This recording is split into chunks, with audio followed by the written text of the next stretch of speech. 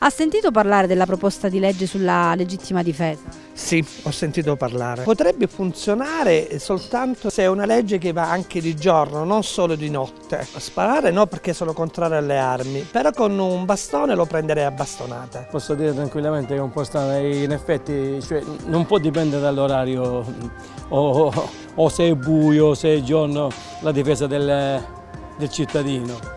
Niente, si deve arrivare a un punto di equilibrio secondo me. Io non ho, non ho, armi a casa, quindi mi difenderei sicuramente, non so come, però obiettivamente dire che sparare forse non ci riuscirei in effetti, però sicuramente cercherei di difendermi. Sì, vagamente ho sentito qualcosa, devo dire che non, non sono, mi sono addentrato nella notizia, però qualche cosa ho sentito e in ogni caso io sono contrario all'uso delle armi, della violenza in genere e di conseguenza non accetto questo tipo di soluzione.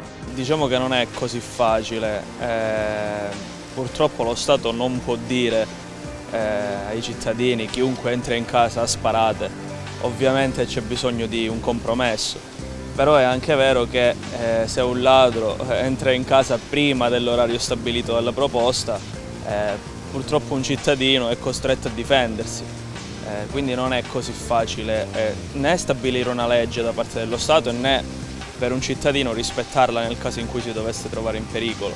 Spareresti?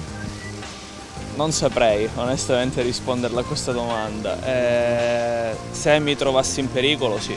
Per me è una stupidaggine, cioè pensare di poter sparare o avere una legge solo che dura a fascia oraria è una, una stupidaggine. Cioè, eh, ho un, un, ladro che mi entra 5 minuti prima, cosa faccio? Chiamo la polizia come mi devo comportare? Cioè è, una, una, veramente una stupidaggine. Spareresti?